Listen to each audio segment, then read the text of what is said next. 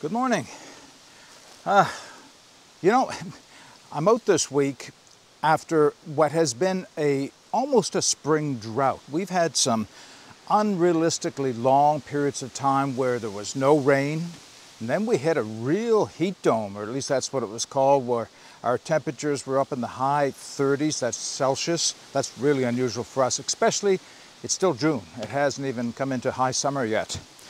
Now we've kind of run into a run of rain, which has been good for the woods, good for the plants, uh, but it means I really haven't spent any time in the woods in the last week or so. The good news is the fire ban may be lifted after 2 o'clock today. I may be able to have a fire to cook myself some lunch and make some coffee with, or boil some water for coffee with. Yeah, so that's kind of what my plan is today. Now, this is a hike and a coffee video. And there are two things that I'm going to be covering. The coffee today is actually quite special, so please stay around until you hear what I have to say about the coffee I'll be making.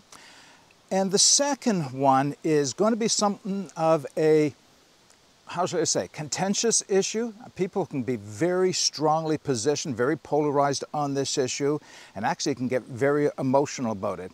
It's about using your knife for batoning. I'll tell you the reason why that subject today is, but using your knife for splitting wood. I mean, the question is, is, is it necessary? Is it stupid? Or is it a worthwhile skill to learn how to do? So that's what today's topic will be when we get to the discussion. In the meantime, I still got quite a ways to go to get to where I'm going to have my lunch and my coffee, so hopefully you'll follow along.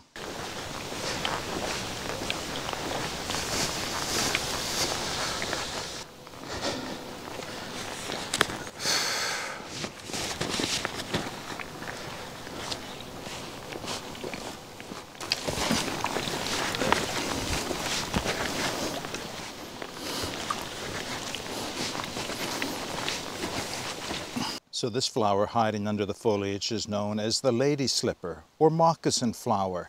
Native to Nova Scotia, usually a very spring flower, earlier spring. I'm surprised to see these still here. Uh, I guess because they're hiding in the shade, they can last a little longer. You can see they're already starting to brown on their leaves, so they, these won't be here for much longer. Very interesting plant. They have a unique way of reproducing, but for the most part, it's not by seed, it is by through the root system. And this is what makes this flower kind of unique. This flower will take up to 25 years to grow underground before it pops up out of the ground like you see here. They have a relationship with a fungi, a mycorrhizal fungi under the ground that is necessary for them to grow. They don't transplant. 99% of the time, these die. They, if you cut them to take them home because they're so pretty, they die and can damage the plant. So knowing all of that, the question of the day I have is, are these protected here in Nova Scotia? And should they be protected if they're not? Put your answers in the comments section below. All right, I just finished my lunch. Another great meal prepared out here in the woods. Easy chicken cacciatore. Tasted great. And if you're interested, that'll be coming out under a separate video title at some point. So how do you follow up on a great meal, but of course with a great cup of coffee? Now this is going to surprise longtime viewers. The coffee I'm having today, it's not Rampage. It's something different something special, something my wife found for me, and am I'm ever glad she bought it for me. It's made by a local organization known as Hope Blooms. And Hope Blooms started here in Halifax in 2008 with a mission to work with inner city youth to teach them life skills. And the way they did that is kind of unique as well. They created an urban farm on the grounds of an old school, and they taught the kids not only how to plant uh, plants, but how to bring them to harvest, how to turn them into products that they could then take to market. Now they have a lot of programs for the youth and the community at large, including creating food security for the community, teaching how to cook healthy yet economical meals, and a number of other things. In fact, I will be putting the links to Hope Blooms in the video description so you can see what else they have going on. It's, it's an amazing story to say the least. Hope Blooms started out with their urban farm here in Halifax by growing herbs, and those herbs were harvested by the young people turned into salad dressings, taken to market, and all the profits brought back into the organization itself. Now, of course, they've expanded their list of products availability.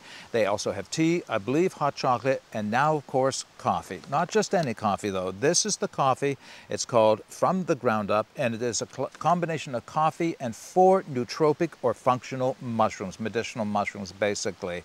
The coffee is actually very special as well. So let me tell you a little a bit about that. So it is made or grown in Colombia by women-owned and ethically operated farms. It is a uh, organic Colombian Supremo bean. However, the beans are brought to Halifax where they're locally roasted for freshness and quality control, of course. And the mushrooms themselves, most of which are grown here in Nova Scotia, some of which are still grown in Ontario, but their plan is to have all the mushrooms grown here in Nova Scotia, so it'll be a completely local product. I think that is really a special story.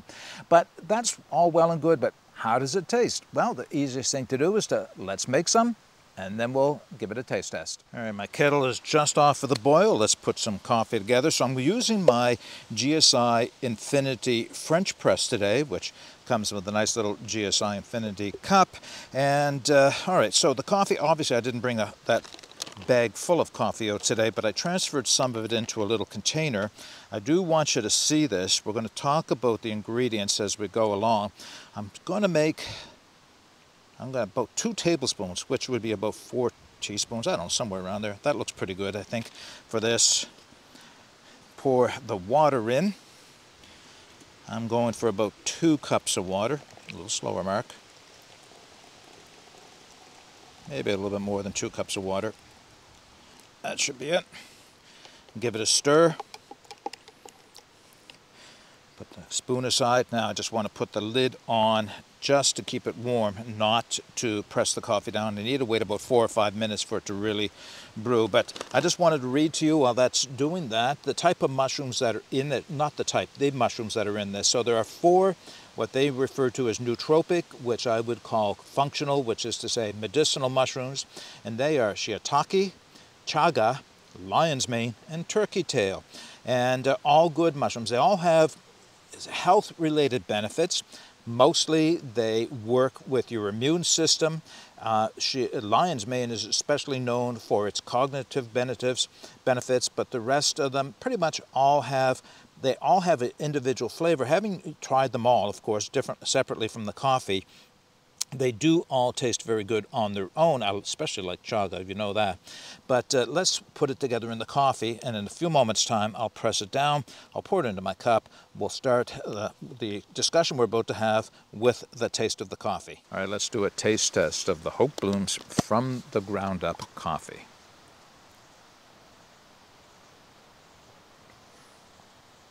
Oh, that is nice. Ah, very nice. I'm going to enjoy that for sure. Okay, just a couple of comments on the coffee itself. So as I mentioned, this is a Colombian Supremo bean. It's grown in Colombia. If you're not familiar, Colombian beans are on the light to medium roast scale of things. They're not a dark roast, so don't expect a very dark, rich coffee with this because that's not what Colombian beans are all about. These are a high quality bean, roasted fresh, roasted locally, so you're going to get a very fresh and high quality product for sure but it has its own flavor that you have to like and have to get used to if, if you're not used to a Colombian bean, of course. Now, what about the addition of the mushrooms? How does that impact the flavor? Because I'm sure that's what most people are wondering before they purchase a mushroom coffee is what's it going to taste like? Well, I'll tell you what I taste in this coffee. I can taste the chaga. Of the four mush mushrooms, the only one I can really identify is the chaga. I happen to like the taste of chaga. I think it pairs well with coffee in any case. So that actually accents the coffee and makes it taste a little bit better. I have had uh, turkey tail and lion's mane and shiitake. I've made them primarily in teas on their own, not necessarily put in the coffees. Honestly, I don't get much of a flavor off of any of them. But chaga, yes, it definitely has its own flavor. And I can detect it in the coffee. So I just wanted to put that out there. It is a good tasting coffee. Now, just before we move on to the topic of the day, I'm encouraging everybody to take a look at the Hope Blooms website. I have the link for it in the video description, link specifically to the From the Ground Up Coffee, but I'm encouraging you to take a look at what else they have. I would also suggest that if you want to help Hope Blooms out in their mission, that maybe you'd like to purchase some of their products. They do ship internationally, and you can support them that way. All right, I thank you for doing so. Now, let's get on to the topic of the day. Now, maybe just before we do, I want to answer the question of the day from the last video that I put out in the uh, Hike and a Coffee series. It's the one where I showed a uh, black mark on a birch tree in the woods. And I threw out some guesses, things like uh, maybe it was uh, lightning, maybe it was uh, fungus growth, maybe it was, I don't know. And I still had, don't have an answer for it. But what was interesting, interesting is uh, the number of suggestions that came through from people. Some obviously having fun with it, and I appreciated that as well. But no one could definitively answer the question for me. Quite a few people, though, did say they thought it was a lightning strike. I honestly, I can't see it, but maybe. Now, do I have an opportunity to find out what it is? Well, I will be meeting with a wildfire prevention expert next week on another topic altogether, nothing related to my YouTube videos, but something I do in my volunteer life. And uh, I'm going to be showing the pictures to them and seeing what they think of it. And if they can come up with something a bit more definitive, I'll come back yet another time to share that with you. All right, topic of the day. This should be fun batoning our knives to break wood apart into multiple pieces. At least that's the, the concept. That's why you're doing it. First off, the background for this. So I have uh, a number of knife review videos out, and I've had comments on a few of them recently where people have said that it wasn't necessary for me to baton the knife. That's the polite people. Other people telling me it was stupid to baton the knife. And I said, you know, it's okay. A, people are certainly entitled to their opinion. I disagree with that. I'll explain why in a moment. But that's where the background for it, that's where the idea for this video came from. Strangely enough, maybe not that strange at all, I had videos starting to appear in my YouTube recommended viewing uh, list on batoning with knives. And some of the vi videos were one, how to baton, like Dave Canterbury has a video on how to baton, and other people use, like a lot of the survival experts, uh, people like uh, uh, Paul Kirtley and Ray Mears and Dan Wowak from uh, Coalcracker Bushcraft, they all baton their knives, right? But uh, I don't want to get off track with that. I just want to point it out that they all have videos where they have batoning in them. So with those videos that were being recommended, the two themes that seem to come up is one that is batoning is never necessary. It's never necessary to use your knife to split wood apart. And one video went so far as to say it is stupid to split wood with a knife. I said, okay, challenge accepted. Let's have a discussion on this. Now, this is not going to be definitive. This is a discussion starter. In fact, I'm encouraging people who have an opinion on this to put it in the comment section of this video so we can all benefit from it. I only have two things I want to say about that. First, be respectful. I don't want people calling other people stupid. You can call me stupid, that's fine, but don't call other people stupid, all right? And the second one is, if you're going to take a position, support it. If you have an argument before or against batoning, tell me why. Just don't say it is. You know what I'm saying? Support your argument. Okay. And the last thing I'll say before we get started is that this is not a how-to video. I'm not going to try to teach people how to baton a knife. There will be no demonstrations of batoning here. It's simply a discussion on my opinion around using your knife to baton wood. All right, let's get started. So first, let's talk about what is batoning. When I say batoning a knife, most people have the image of using a stick to hit the back of a knife and drive it down through a piece of wood. And yes, that is batoning. But what is it you're trying to accomplish when you baton a piece of wood? You're trying to split it into two or more pieces, right? That's all it is. It's, it's another way of splitting wood. So maybe the better question is, is it ever necessary to split wood? Well, first off, why do you want to split wood? What's, what reason would you have for splitting wood in the first place? There are two reasons at least that I can think of. And the first reason is for uh, preparing fuel for a fire. We'll come back to that one in a minute. And the other reason is for crafting some type of a, an implement or object out here in the woods. So basically, those of us who consider ourselves bushcrafters like to make things from wood whether it's a spoon or a fork, whether it's a figure four deadfall trap, whether it's a pot hook for a, a pot to hold it over a fire, or even just a tent peg. You are actually crafting something from a piece of wood. Most of those skills involve splitting larger pieces of wood into smaller pieces of wood, right? So we can accept that. Now let's go back to the fire. The question, I guess, that needs to be asked is it ever necessary to split wood for a fire? Well, that one's a little bit harder to answer it definitively, and I'll explain what I mean. One of the videos that I saw was somebody who had said there is never any reason to split wood or to baton wood in order to create a fire. And this is not intended to be a criticism of what they showed. Uh, I'm not arguing with that person. They have a context for what they have to say. They may well watch this video. I'd welcome a conversation with them if they do. But what they were doing, or what they were saying, is you don't need to split wood or baton wood in order to create a fire. Now, the context was they were in a softwood forest. They were surrounded by pine trees, spruce trees, fir trees. And they were finding dead wood that they could break apart with their hands in order to get some smaller wood to create a fire. Absolutely. In fact, I've done that and I have a video on doing exactly that. I have a video from a couple of years ago where I simulated falling through the ice in the winter and getting cold and wet and then had to create an emergency fire in order to survive. And in less than five minutes, I was able to break off enough small branches from the low-hanging branches on the spruce trees and fir trees that were around me that, and a little bit of birch bark to get it all going that I had a good roaring fire going. Enough that would have saved my life. I say simulated because I didn't actually fall through the ice.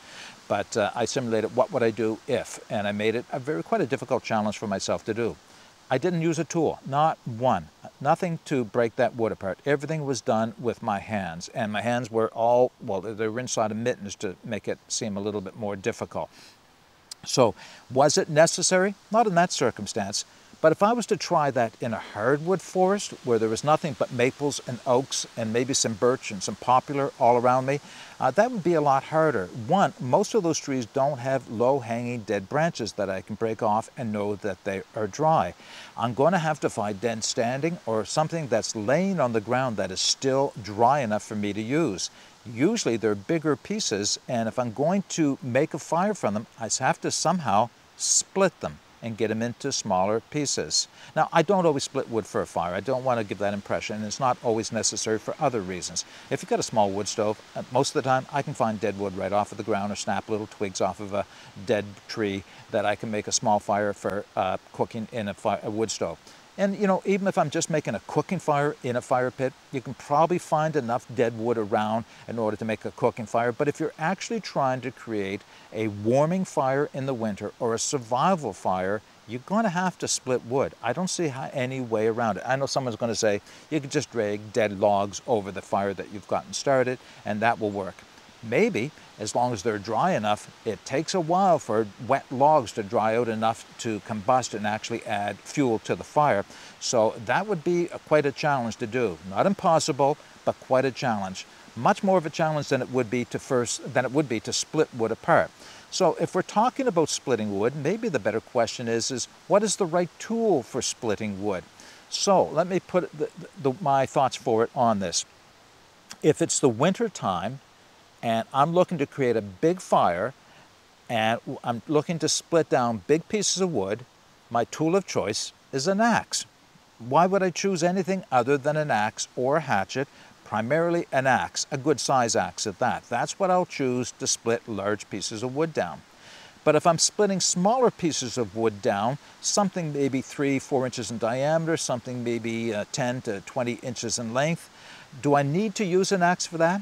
An axe can make it easier, maybe, if you brought an axe with you.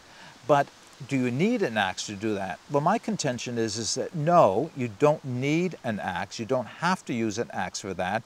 You can use a knife, the right knife. And that's what this is all about. Would I use a Mora clipper to split down that size piece of wood, three inches in diameter, 10, 20 inches in length, or 10, we'll say 10 to 15 inches in length? No, I wouldn't. A Mora clipper is not built for that type of work. But I have a lot of knives that have five, six, eight, and 10 inch blades. That's, a, that's exactly what they were built for doing. They were built for chopping and splitting. Those knives are designed specifically for processing wood. That's what they're all about. Does it make sense to use those knives to split that size wood? It makes a lot of sense to me because I prefer to use a knife in those circumstances rather than carry an axe. And it makes a lot of sense for other people as well. And I'll tell you the reason why. An axe is a wonderful tool. I have axes. I love my axes. I enjoy using them. I don't bring them out as often as I might because I just don't have a need for the power that they have when you wield them. And here's the thing. They require training and experience in order for them to be effective and safe. So if you put an axe in the hand of an untrained person, you're asking for the potential or for an injury to occur. And not just any injury, usually quite a severe injury.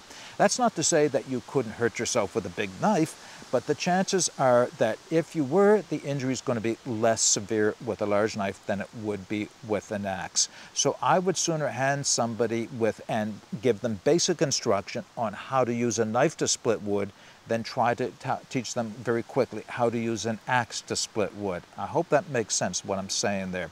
So it's still a matter of matching the tool to the job. What is the right tool for splitting the wood apart? Maybe you don't need either and you still want to split wood. Well, I actually have a video where I split woods using a folding knife. Now, I know people are cringing. I didn't actually split the wood all the way through with my folding knife. What I did is use the folding knife to create, uh, craft a wedge, use the knife to start a little line across the top of the piece of the wood, and then baton the wedge through. And that's a legitimate skill, right? So you can do that. Point being is I still split wood because I needed the wood to be split in order to use it. So it's entirely logical to split wood. Do you always have to split wood for a fire? Um, I don't know that you need it for a cooking fire, but if you want a warming fire or survival fire, I just don't know how you're going to get around that. So as I mentioned a minute ago. Now, does it make sense to use your knife all the time? Of course not. It doesn't make sense. If you've got an axe, you're skilled with an axe, then use your axe. Can you use a knife for splitting wood?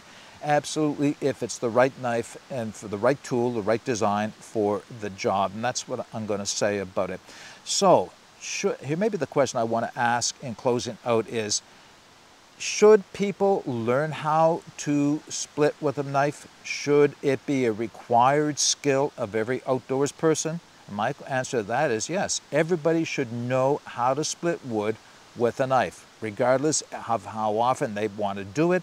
It is a tool in your toolbox. You should know how to split wood with your knife. All right, so that's all I'm going to say on the topic. Again, I'm inviting people to put their comments, their opinions in the comment section below. Again, be respectful and support your point of view in the comment as well.